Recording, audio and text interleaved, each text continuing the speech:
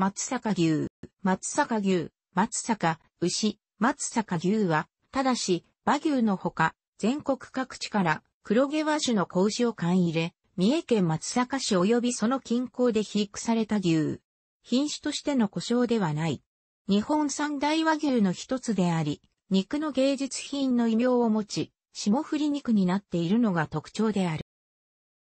2002年、平成14年8月19日以前は、松阪牛すべてが高級銘柄牛肉であり、そのため、松阪牛という単語自体が高級牛肉の意味を持つこともあったが、以後は区域内の生産であれば、格付けが低いものまで松阪牛との故障が許され、すべてが最高級とは限らなくなっている。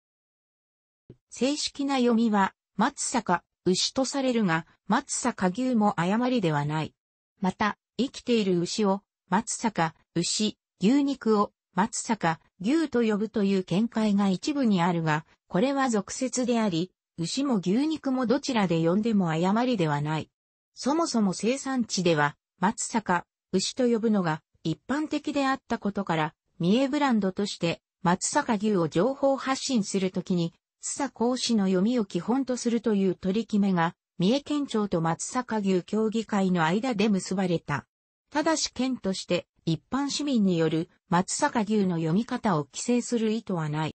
松坂、牛や松坂牛の故障は誤りであり、松坂牛は語気である。松坂近郊では江戸時代より田島国、現、兵庫県で生まれ木の国、現、和歌山県木の川流域で育ったメスの牛を購入し、農作業に利用していた。松坂の農家で飼われた牛は、家族同然に可愛がられ、3から4年もすると自然に肥えていった。幕末になると、神戸外国人居留地の住人の間で、神戸ビーフが注目され、松坂で長く飼育された牛が肉牛として買い取られ、神戸ビーフへと変貌を遂げた。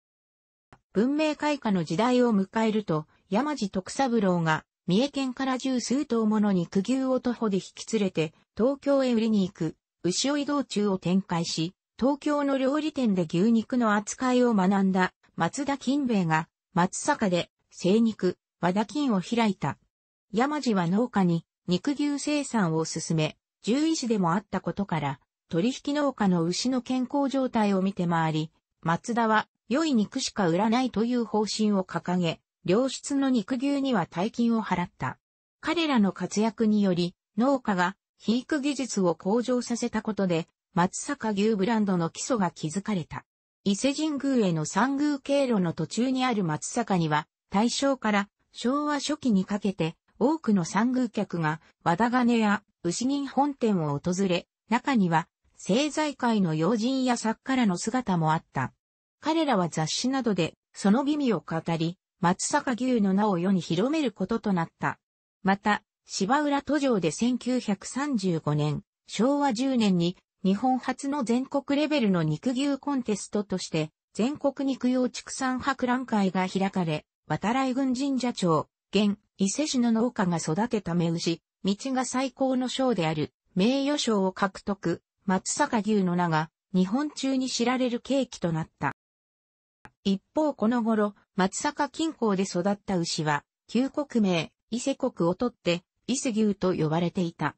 1921年、大正10年に和田金が、松阪肉元祖を名乗るなど一部で、松阪肉と称することはあったのの、松阪牛、松阪肉の名が広く用いられるようになったのは、宇治山田氏が1955年、昭和30年に伊勢市に改称し、伊勢牛、伊勢肉では、伊勢市が産地であると誤解される恐れが生じたので、家畜商や精肉店が集まって話し合い、松坂肉と称することに決めてからである。その後、1958年、昭和33年に松坂肉牛協会が結成され、東京の会員に販売する松坂肉を枝肉の格付けで上格以上と定めたことや、1949年、昭和24年に始まった松阪肉牛共進会で入賞した牛の高値取引がマスコミの話題をさらったことで、松阪牛が高級ブランドとして定着していった。そして、ビールを飲ませるというユニークな飼育法が日本国外の記者の注目を集めて発信されたことで、国際的なブランドになった。2001年、平成13年に発生した BSE 問題や産地偽装事件への対応のため、2002年、平成14年には、子牛の導入から出荷までを管理する松阪牛個体識別管理システムが発足し、これに登録した肉牛を松阪牛とした。しかし一方で、2002年、平成14年8月19日の規約改定により、松阪牛の定義から枝肉格付けが削除され、格付けが最低の C-1 であっても、松阪牛と乗れるようになった。このため、すべての松阪牛が最高肉質等級の牛肉である時代は終わった。現在の松阪牛は、特産松阪牛が全体の6%しかなく、残りの94%を規約改定前の基準では、松阪牛と称することが許されなかった牛肉が占めている。また、数種は最高品質とされる、田島牛や、淡路ビーフ、淡路島で生育した田島牛のみであったが、規約改定後は、九州産の、ただしは牛系の牛、純粋なただし、牛ではないを、数牛として飼育する、畜産農家が増えている。2019年5月17日、ミシュランガイド愛知、岐阜、三重2019特別版に松坂牛を扱う店舗が掲載。松坂牛とは黒毛和種の未計算、幸運でいない、目牛で2004年、平成16年11月1日時点での三重県、中勢地方を中心とした旧22市町村、及び旧松坂肉牛生産者の開会員の下で肥育され、松阪牛個体識別管理システムに登録している牛を言う。旧22市町村とは以下の区域である。生産地域が旧22市町村に決定された2002年、平成14年には、この範囲から外れた市町村の農家から多くの反発があった。特に定義から漏れた北税地区の農家は、他の銘柄牛が県内全域を生産地域していることを指摘し、集団で定義の変更を申し入れた。これに対して、三重県松阪食肉公社の社長と松阪市長を兼任していた野呂明彦は、県内全域が産地だとは論外とし、市町村合併が進んで市町村の範囲が変更されても、旧22市町村の枠組みを堅持した。中には、旧22市町村内に牛を引っ越す農家も見られた。例えば旧島郡阿護町、現、島市のある農家は、旧松阪市と旧三雲町の廃業した酪農家から牛舎を借用して、自らの牛250頭を移動させ、松阪牛の生産を続けた。また当時松阪肉牛生産者の会の副会長を務めた男性の農場は、旧三里村にあり、旧22市町村の範囲外であったが、これまでの実績を訴えた結果、特例措置として男性の飼育する牛は松阪牛を名乗りことが認められた。生産地域から漏れたことで松阪牛を名乗れなくなり、収入が激減したとして損害賠償を求める訴訟を起こす人も現れた。この裁判では定義から外れた旧大内山村の男性が松阪市と松阪肉牛協会を訴えたものであったが、2010年平成22年11月4日に土法裁判所は原告敗訴とする判決を出している。現在では数詞の産地や枝肉の格付けに関係なくシステムに登録した牛は松阪牛となるが独自の基準で以下のような表示がなされる。すなわち2002年平成14年8月19日の規約改定前の松阪牛に該当するのは特産松阪牛かつ、金の枝肉のみである。なお枝肉の格付けは、あくまでも差しの入り具合を評価するものでり、味の良さを保証するものではない。中には、枝肉格付けにとらわれすぎず、味で評価してほしいと考えている生産農家もいる。2004年、平成16年以前は、松阪牛の認定団体が、松阪肉牛協会、松阪肉牛共進会、松阪肉牛生産者の会の3つあり、それぞれが独自基準を設定していた。生産地域は、松阪肉牛協会が松阪市を中心とした地域、松阪肉牛共進会と松阪肉牛生産者の会が、雲津川南宮川へ北斗し、飼育期間は、松阪肉牛協会が6ヶ月以上、松阪肉牛協会が10ヶ月以上かつ、共進会開催当日に、生後24ヶ月以上、松阪肉牛生産者の会が500日以上としていた。A5B5 のみとする枝肉格付けを要件としていたのは松阪肉牛協会のみでった。ただし、馬牛のほか、全国各地から子牛を買い入れ、肥育農家にて3年程度肥育する。肥育は牛舎で主に穀物類を与え、放牧を行うことはない。1個あたりの肥育頭数は少なく、大規模経営は和田金牧場くらいである。多くの牧場は後継者が不足しており、牛肉の輸入自由化以降は取引価格も抑えられているなど、盤石の経営環境とは言えない。一部の農家では牛にビールを飲ませることがある。肥育末期に接触量が落ちる、食い止まりという現象への対処のためで、ルーメン、第1位、小部位内の発酵状態を改善する作用が、食欲増進に通り、より脂質気を良くするのが目的である。餌を取る量が落ちた時に与えるので、毎日飲ませているわけではない。この方法を考案したのは、自社牧場を持つ和田金である。ビールの食欲増進効果については、否定的な考えを持つ研究者もいる。マッサージを行うこともある。これは脂肪を均一にする、霜降り肉にするためと一般に言われているが、実際には、そのような効果はなく、出荷前の牛をリラックスさせることが目的である。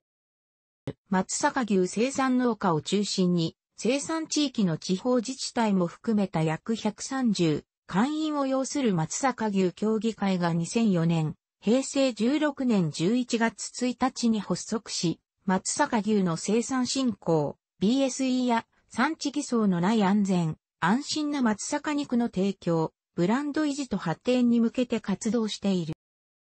また、松阪牛は全国各地の優秀な子牛を松阪牛生産地域に導入後、生産者が手塩にかけて育て上げた松阪牛一頭一頭の個体情報や肥育農家、情報、給仕資料や肥育農家名などの農家情報と牛の出生地、肥育場所、肥育日数など、導入から出荷まで36項目のデータが松阪牛個体識別管理システムへ集積される。横田哲司は、牛がビール好きではなく、いやいや飲む牛もいるとして、ビール瓶を口の中に入れられることは、望んでいないのではと思うと述べている。また横田は、松阪牛の肥育方法が運動を極端に制限された牛舎で濃厚飼料を与えるという牛の生態を無視したような育て方であり、脂肪炎死症、尿路結石、急性固腸症を発症する出荷前の牛がしばしば見られ、実際に松阪牛の牧場で死んだ牛がフォークリフトで運ばれている光景を目撃したという。こうした命の危機にある牛が緊急土地区として食肉処理場に運び込まれることがあり、心臓が動いているうちに食肉処理されれば牛肉として流通し、途中で心停止してしまえば無価値になる。有名な牛であるため、産地偽装が起きやすく、松阪市及びその近郊の肥育農家にて組織を作り、松阪牛の定義づけを行い、松阪牛個体識別管理システムを運用して、出荷した牛肉に専用のシール及び証明書を付け、個体識別番号により、産地、肥育農家、移動履歴その他の情報が検索できると、様々な対策を行っている。販売店には鈴の形をした看板が会員証として配布され、各々に会員番号が付加されている。販売時には生産地を示す認証表示が販売店において行われている。三重県は生産者からの申請を受けて30ブランドの一つに認定している。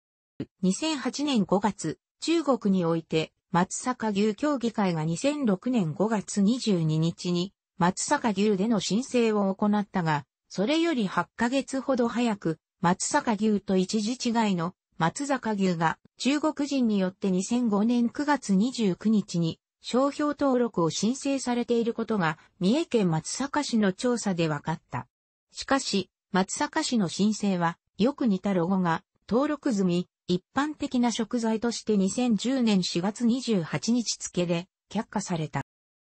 この申請過程で2001年に松坂の文字を使ったロゴマークが2006年2月までに松坂牛や松板が中国において商標登録申請され、商標登録されていることなどが判明した。協議会は松坂牛、松坂肉の商標を守るため、2009年7月には山中道重市長が訪中し、中国商標局の幹部に適切な措置を求めていた。2010年5月31日の松坂牛協議会の総会において、会長の山中道重市長が民主党、県第四総支部が協力的でないことを発言した。それに対して民主党、松田俊介支部幹事長はずっと民主党批判を追っている山中市長の名前で国へ要望を挙げるのは難しいと発言した。2010年6月の夕刊見えに首相が交代する慌ただしい政局や公定駅問題の発生が重なり、農林水産省幹部との会談が延期されたため、自由民主党とみんなの党に要望を聞いてもらうことになった子や、民主党参議院議員から協力的な申し入れがあったものの、一週間後に幹事長室から明らかな圧力があり、動くなと指令が出たとの返事を聞いたとする記事が掲載された。楽しくご覧になりましたら、購読と良いです。クリックしてください。